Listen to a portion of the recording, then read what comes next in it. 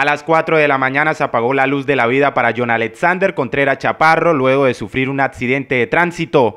La víctima conducía una motocicleta en compañía de una menor de edad. El hecho se presentó en la vía que del centro conduce al corregimiento Yarima, en el sector conocido como Poncito. Hasta el lugar de la tragedia llegaron las autoridades para hacer el levantamiento del cadáver de esta persona, que al parecer iba bajo los efectos del alcohol. Por su parte, la persona que acompañaba a John Alexander resultó herida y una vez sucedió el hecho, fue trasladada hasta el centro asistencial más cercano donde se recupera. Con este accidente de tránsito ya son dos las víctimas mortales en accidentes con motocicleta, en lo que va corrido esta semana en la región del Magdalena Medio.